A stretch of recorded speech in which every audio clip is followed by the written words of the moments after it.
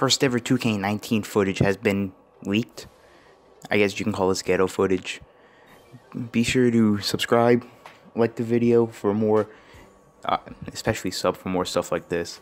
This Ronnie 2K put this on his story and Murda Beatz, I don't know what that is. I, this is this guy put on his story. So here's the leaks, and that is a GG, my guys.